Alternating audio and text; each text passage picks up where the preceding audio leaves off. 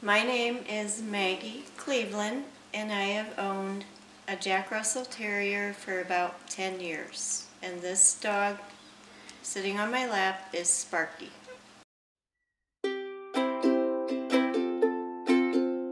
How easy are they to care for?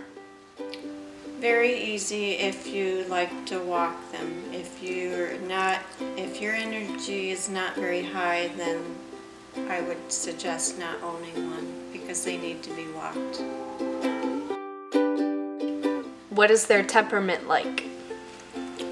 The ones I've been around have been pretty easygoing. Um, they do like to dig and go after little varmints in the yard, but this guy here, I would trust him with a baby or small children.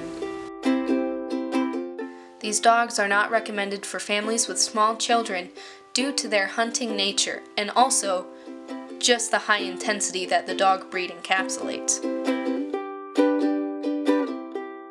I noticed there is a spot on Sparky's leg. Can you talk about that for a little bit?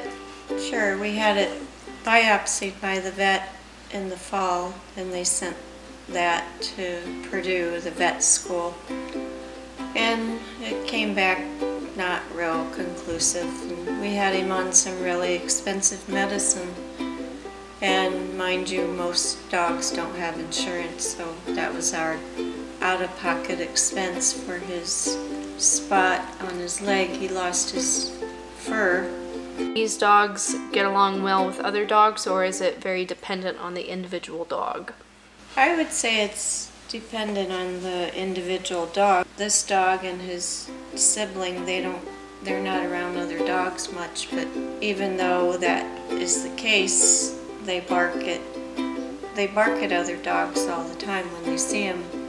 But when Sparky's up close with other dogs, he, he likes to play with them. Last question for you Is Sparky a good boy? Sparky is the best boy in the whole world.